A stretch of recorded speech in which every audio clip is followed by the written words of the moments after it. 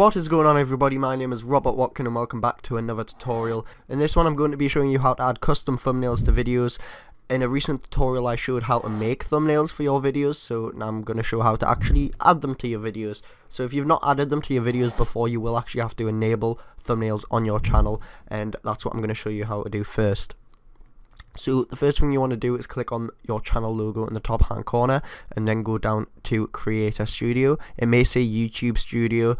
Um, in the case that it does say YouTube Studio, you'll actually be brought to this page, which if I give it a minute, I'll load here.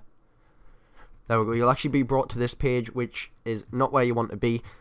You will actually want to be in the classic older YouTube Studio. So to get there, you want to go to the bottom corner and you should see Creator Studio Classic. If you click onto that, you may get this little pop-up. Just click skip on here for now. And then you'll be brought back to this original Creator Studio. Now what you want to do from here is go into channel, as you can see on the left hand side and this is where you get all the stuff which is enabled for your channel. Now, I have pretty much enabled everything that I can enable. Um, I did have live streaming enabled, but then I got a channel strike, so that got removed, unfortunately.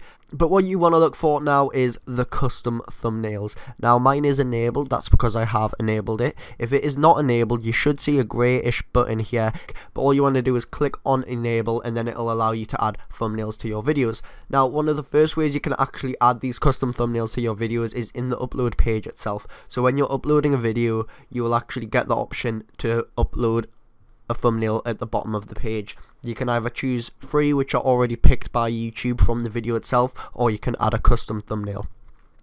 If your videos are already up on YouTube and you want to add them at a later date, then you want to actually go into the video settings. So that's what I'm going to show you how to do now. So if we go into the video manager on the left hand side here, wait for that to load up quickly.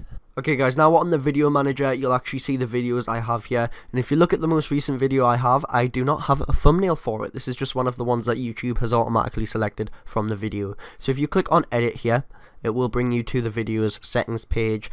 And on the side, just to the right of the actual video itself, you will see these thumbnails. Now these are the three thumbnails that YouTube selects from the video itself. So you could use one of these if you wanted. But for the custom thumbnail, you want to click on custom thumbnail here. Once you've clicked on that you want to find where your thumbnail is saved and I've got mine here and then just click open on it. And what it'll do is it will add the thumbnail to the video. So give it a minute you can see it now says that that's the thumbnail. And if you notice it hasn't showed up straight away. You want to click on the save changes. Give it a minute. And then once you've saved the changes if you exit back out or go to videos for example you will then be able to see if it loads that we have the thumbnail in the video. So that's how you add a thumbnail to a video. It's nice and simple. I hope this helped. If it did help, consider liking and subscribing if you want to see more. Also, if there's any tutorials you would like to see in particular, then just tell me in the comments down below. I'm always happy for suggestions. That's going to be it for this video, guys. So thanks for watching, and I'll see you next time. Bye.